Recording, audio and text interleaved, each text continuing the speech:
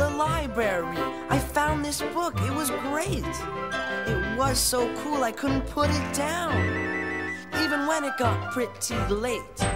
That night I had a scary dream. I mixed my own secret potion. Added dirt, a bit of sludge, some eyes of flies, and a tiny dab of suntan lotion. I started shaking, my legs were quaking, my stomach aching, my brain was breaking. Started turning green, feeling mean. It was like in that story. I was acting strange, quite deranged. It was pure allegory. Allegory, a story where the characters stand for abstract ideas. For example, good and evil. Cause I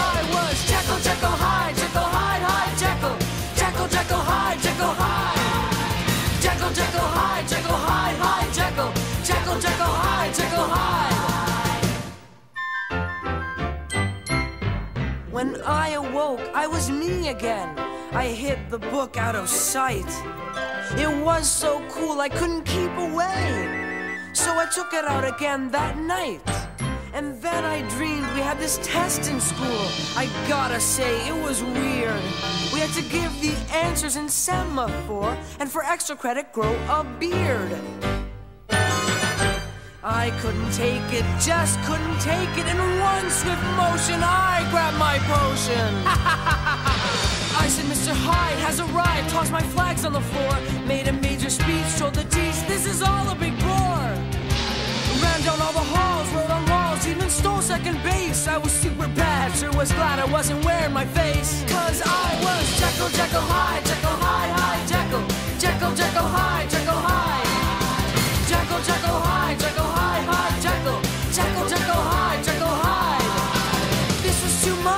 Simply had to stop. I threw that potion away.